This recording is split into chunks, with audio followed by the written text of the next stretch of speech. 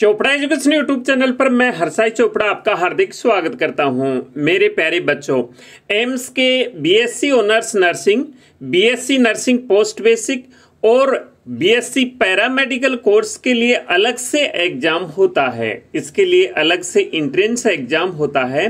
तो जो candidate MBBS के लिए एमबीबीएस के लिए एडमिशन लेना चाहते हैं एम्स में, वो तो नीट के थ्रू ही होता है, लेकिन जो candidate BSc honours nursing BSc paramedical course या फिर बीएससी नर्सिंग पोस्ट बेसिक में एम्स में एडमिशन लेना चाहते हैं तो उनको अलग से इंट्रेंस एग्ज़ाम देना होगा। और उसके इंट्रेंस एग्ज़ाम के लिए रजिस्ट्रेशन स्टार्ट हो चुके हैं। तो मैं आपको इस वीडियो में स्टेप बाय स्टेप प्रोसेस बताऊँगा कैसे आपने रजिस्ट्रेशन करना है, क्या इसकी कंडीशन है, कितनी सीट्स है, कितनी फ़ीस है। तो इसके बारे में हम इस वीडियो में पूरी चर्चा करेंगे।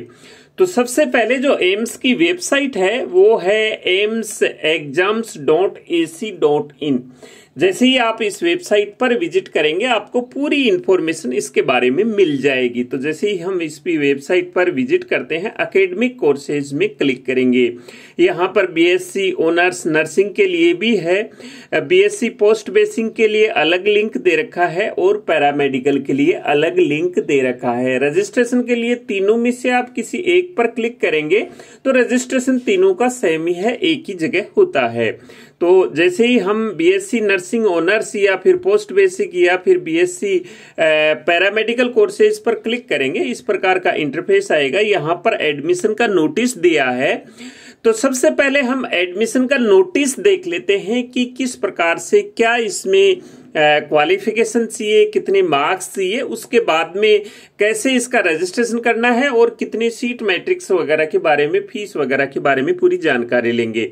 तो इसमें हम प्रोसीड पहले एक बार नोटिफिकेशन देख लेते हैं। तो नोटिफिकेशन में सबसे पहले कंडीशन दी हुई है बीएससी ऑनर्स नर्सिंग की। तो जिन कैंडिडेट ने ट्वेल्थ क्लास पास कर रखी है या अभी ट्वेल्थ क्लास में है अपेयरिंग स्टूडेंट्स हैं, जिन कैंडिडेट्स के इंग्लिश फिजिक्स केमिस्ट्री बायोलॉजी ये सब्जेक्ट रहे हैं, वो candidate BSc honours nursing course के लिए इलिजिबल हैं। इसमें जो candidate general EWS OBC category के हैं उनको 50 परसेंट मार्क्स चाहिए इंग्लिश फिजिक्स केमिस्ट्री और बायोलॉजी सब्जेक्ट में। और जो candidate S C S T category के हैं, उनको 50 परसेंट मार्क्स चाहिए English physics chemistry biology subject में। तो ये तो कंडीशन है बीएससी ऑनर्स नर्सिंग कोर्स के लिए। अब हम देखते हैं कि बीएससी पैरामेडिकल कोर्सेज के लिए क्या क्वालिफिकेशन की आवश्यकता है। तो इसमें भी 10 प्लस टू की आवश्यकता होती है। Ten plus two science stream से होना चाहिए। यानी कि इसमें कुछ कोर्स मैथमेटिक्स स्ट्रीम के भी हैं और कुछ बायोलॉजी स्ट्रीम के भी हैं। तो इसमें कैंडिडेट को आ, जो candidate general category EWS OBC के हैं वो candidate fifty percent aggregate marks चाहिए। इंग्लिश फिजिक्स केमिस्ट्री बायोलॉजी या फिर मैथमेटिक्स के अगर वो कोर्स चूज़ कर रहे हैं तो मैथमेटिक्स में। फिफ्टी परसेंट चाहिए इसमें इन कैटेगरी के लिए और 45 परसेंट चाहिए S C S T category के लिए। जो मैं ये आपको मार्क्स बता रहा हूँ, ये एग्रीगेट होना चाहिए। बीएससी ऑनर्स नर्सिंग की कंडीशन में भी एग्रीगेट होना चाहिए और पैरामेडिकल की कंडीशन में भी एग्रीगेट होना चाहिए। एग्रीगेट का मतलब होता है कि फिजिक्स केमिस्ट्री बायोलॉजी और इंग्लिश सब्जेक्ट का टोटल 50 परसेंट या फिर 55 परसेंट जो भी कोर्स के अकॉर्डिंग है, वो होना चाहिए एग्रीगेट होना चाहिए। अलग अलग सब्जेक्ट में आवश्यकता नहीं है, सभी सब्जेक्ट्स का टोटल होना चाहिए जो मार्क्स की कंडीशन दे रखी है। अब बात करते हैं BSc nursing post basic course के लिए। तो पोस्ट पोस्ट बेसिक में ट्वेल्थ पास तो होना ही चाहिए। इसके साथ में जीएनएम कोर्स पास किया हुआ होना चाहिए और वो रजिस्टर्ड होना चाहिए आरएन या आरएम के साथ में रजिस्टर्ड होना चाहिए। तो ये तो इन तीनों कोर्स के लिए क्वालिफिकेशन है। अब इसका हम एक बार शेड्यूल देख लेते हैं। तो देखो शेड्यूल के लिए ऐसा है कि एम्स का जो फॉर्म अप्लाई होता है वो तीन स्टेप में अप्लाई होता है। सबसे पहले बेसिक रजिस्ट्रेशन होते हैं। बेसिक रजिस्ट्रेशन के बाद में कोड जनरेट होते हैं अलग अलग कोर्स के लिए, जिस कोर्स के लिए आप अप्लाई करना चाहते हैं। और उसके बाद में फाइनल रजिस्ट्रेशन होता है। तो अभी जो होगा, वो बेसिक रजिस्ट्रेशन होगा। बेसिक रजिस्ट्रेशन का मतलब आपने अपने डिटेल्स फिल करनी है। Photo signature thumb impression upload करने हैं और उसके बाद में बेसिक रजिस्ट्रेशन फॉर्म का प्रिंट ले लेना है। तो ये ही डिटेल आपको इस अभी करनी है। अब जो बेसिक रजिस्ट्रेशन हो रहा है तो एम्स ने ये फैसिलिटी दे रखी है कि जिन कैंडिडेट का पहले बेसिक रजिस्ट्रेशन हुआ है, जैसे 21 में 22 सॉरी 2020 में या 19 में ये 19 से स्टार्ट हुए थे बेसिक रजिस्ट्रेशन होना। तो अगर किसी कैंडिडेट ने पहले 19 में कर रखा है, बेसिक रजिस्ट्रेशन 20 में कर रखा है या 21 में कर रखा है तो उनको फिर से रजिस्ट्रेशन करने की आवश्यकता नहीं है। वही रजिस्ट्रेशन आपका मान्य होगा। उसके बाद आपको जब कोड जनरेट की डेट होगी, वो कोड जनरेट करना है और फाइनल रजिस्ट्रेशन करना है। लेकिन जिन कैंडिडेट ने अभी फेस रजिस्ट्रेशन करना है एम्स के लिए, पहले बेसिक रजिस्ट्रेशन नहीं किया है तो वो अभी फ्रेश रजिस्ट्रेशन कर सकते हैं। तो ये तीन स्टेप्स में रजिस्ट्रेशन होता है।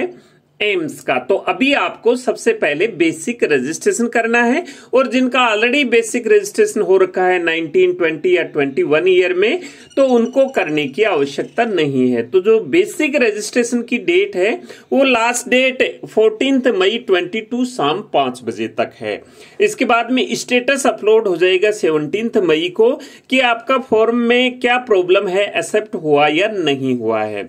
उसके बाद में अगर कोई कमी रह जाती है आपका फॉर्म एक्सेप्ट नहीं होता है तो उसमें करेक्शन कर सकते हैं आप 20 मई 22 तक। इसके बाद में फाइनल स्टेटस आएगा, जो आपने कमी पूरी कर दी, उसके बाद आपका फॉर्म एक्सेप्ट हुआ या रिजेक्ट हुआ, ये आ जाएगा 23 मई 22 को।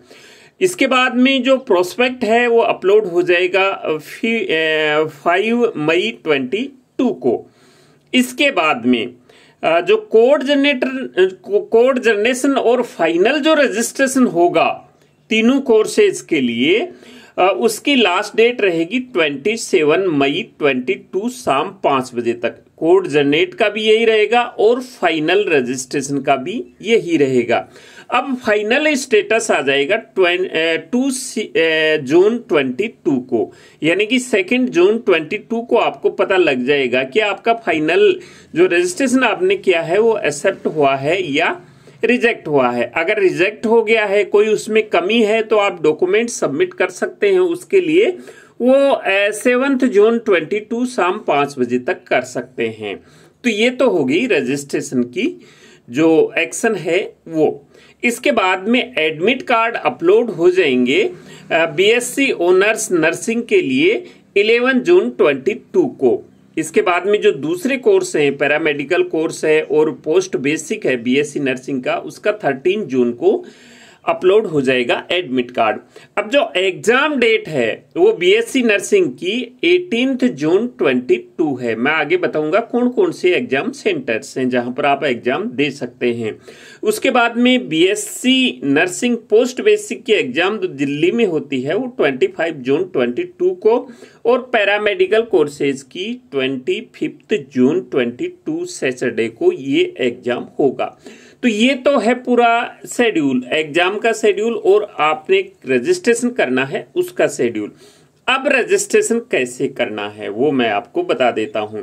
तो जैसे ही आप यहाँ पर पिछली वाली स्टेप पूरी करने के बाद प्रोसीड पर क्लिक करेंगे तो प्रोसीड पर क्लिक करने के बाद में आपके पास में इस प्रकार का इंटरफेस आएगा। यहाँ पर दो ऑप्शन आएँगे।